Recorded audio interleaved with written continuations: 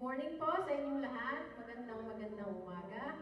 Patuloy po tayong sama-samang umawit at magpuri sa ating Panginoon.